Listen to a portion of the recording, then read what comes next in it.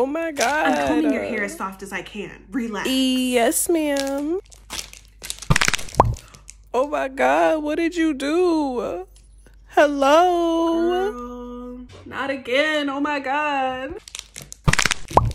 Bro, like, get it together. What am I supposed Why to is your do? head coming off? Well, maybe if you was a little little more gentle, then my head wouldn't be popping off every five seconds. It looks like it's all your fault.